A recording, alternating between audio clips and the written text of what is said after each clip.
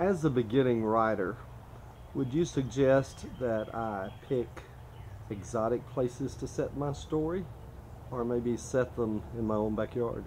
Oh, that's an excellent, excellent question. I will tell you this that most of my stories are set in my hometown or in places I have visited and loved.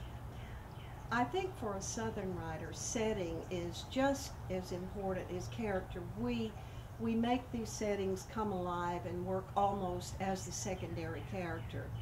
In The Sweetest Hallelujah, which was set in Tupelo in 1955, I used Shake Rag, I used that uh, Miss Queen's front porch almost as another character. I used the juke joint almost as another character. I think readers uh, love that book partially because they feel as if they are in the midst of that setting.